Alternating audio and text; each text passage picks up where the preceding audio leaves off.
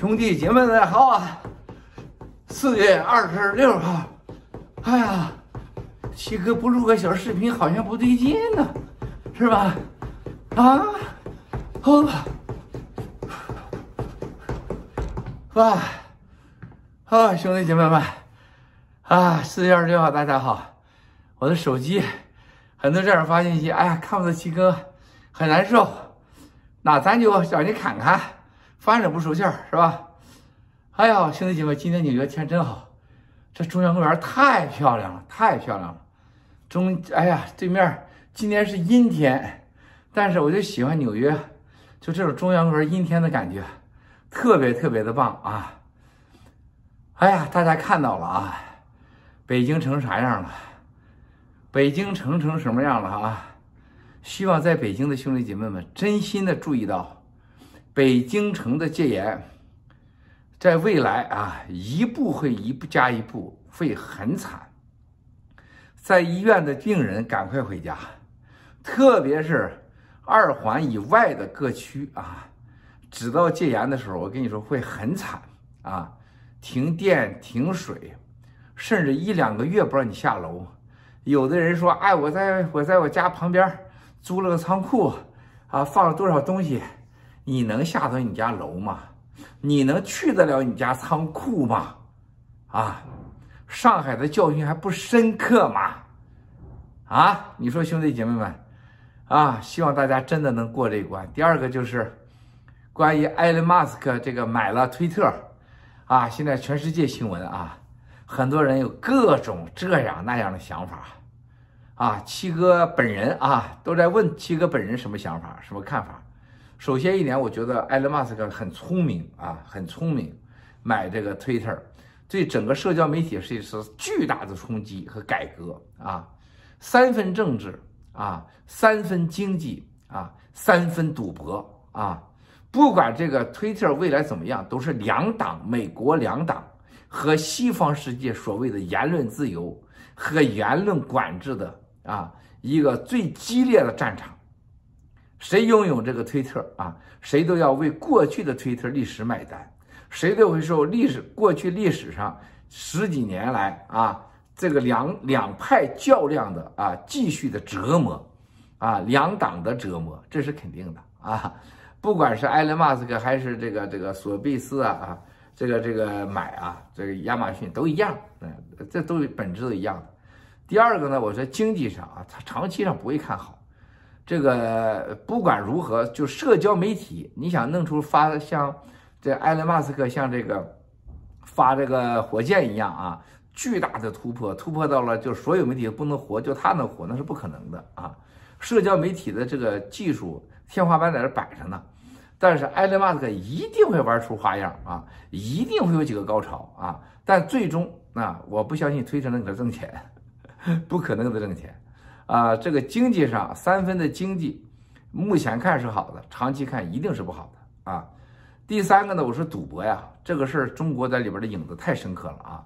不管埃隆·马斯克有没有啊，有没有这个跟中共合作，都会被扣上这个帽子啊。但愿他不会跟他合作啊，沾上中共啊，那你就完球蛋了，是吧？所以说这三分赌博，嗯，对咱们盖特来讲，啊，兄弟姐妹们。我可以这么说，从目前他说完以后，我感觉到是最多的是挑战和机会，啊，如果咱们的盖特啊说这个社交媒体只剩推特一家不让你盖特玩，不让任何社交媒体，不可能的啊，社交媒体一定是江湖上啊各帮派全都能活下去，才叫叫社交媒体的江湖。但是活下去，你的技术、你的服务体验啊、你的功能，还有一个最重要的未来，你的创新啊。盖特走的路是未来是完全靠内容、靠技术、靠盖特配啊生存下去。我觉得投呃，而且盖特的投资者都是非常非常的有实力啊，盖特的投资者都很棒啊。那么作为咱们一个爆料革命蹭这个盖特啊，蹭盖特在盖特上面发挥作用灭共的平台，对咱来讲是永远是足够的，用不完的。那么。剩下的问题，我觉得经济上盖特长期来讲一定是包袱最轻啊，成本最合理，而且未来的发展空间最大啊。对待盖特来讲，半点不会受影响，还会有机会。相反，未来在推特上被挤压和在社交媒体上不适应的人，只能来盖特啊。所以说，盖特就有点是诺亚方舟的感觉，媒体界的诺亚方舟啊，一点都不用怀疑啊。对盖特，但是技术上是个机会，团队，如果你跟不上或者技术上你落后，那你是要吃吃大亏的啊，会被贬值啊，啊，会忽上忽下呀啊。所以说，我觉得挑战就会盖特带来机会，挑战也会给盖特带来价值。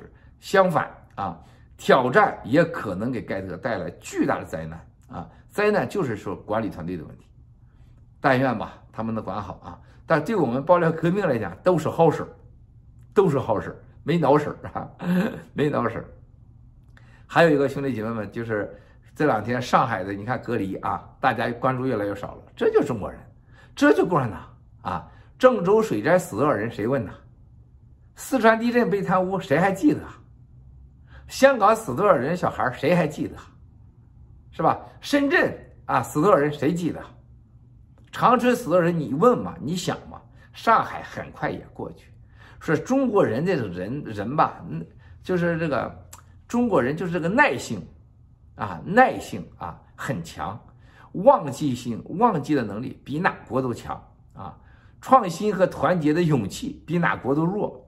所以说，他不引来这种共产党的魔鬼，那才邪了门了呢，是吧？抢劫了你家，强奸了你家，过几天你又忘了啊？他不再来吗？是不是？所以共产党已经做好了长期的中国到北朝鲜的生活模式啊，然后这个是长期的让中国人民活在猪狗不如的生活中啊，他必须从社会的电上、水上、交通上、供给上、物资上。精神上、媒体上、一话语权上啊，去让你所有的人啊都适应这种走回到文化大革命生活的那种方式。所以说，北京、上海、广州、深圳、长春、大连、海口啊，像这种地方，郑州是吧？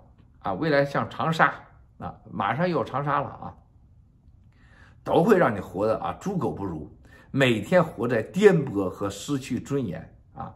自己和人和畜生都不能分别的程度，让你睡在马路上，啊，这就是共产党啊！说实在话，能逃出中国的有几个人呐？十四亿人，你逃出一千万、五千万、一个亿，共产党能咋的？他在乎都不在乎你，还有十三个亿奴隶呢，是吧？不管怎么折腾，中南坑和共产党的那些政治局委员们。家里边该吃啥吃啥，该喝啥喝啥，啊，一点也不少，而且比过去还更好。奴隶多了，伺候的人多了，是吧？想跟这些当官双休的人多了，一个馒头就换一个花姑娘，那当官的家那馒头不多了去了吗？是吧？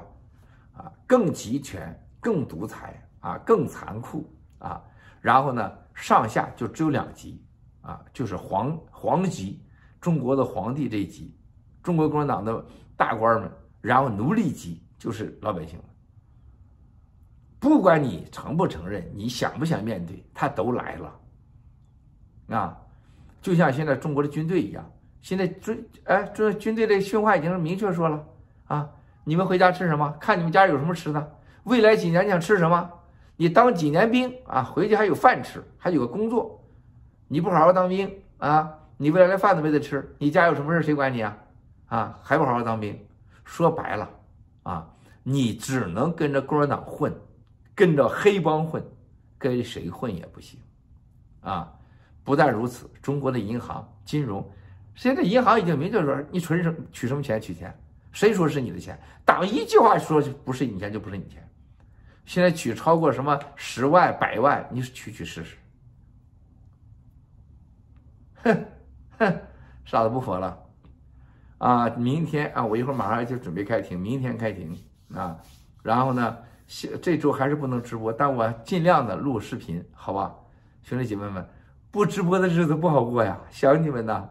希望国内的同胞们、亲朋好友们，真的能照顾好自己，理性的看待未来的灾难和苦难的日子，啊，只有新中国联邦能给你带来机会、希望和尊严。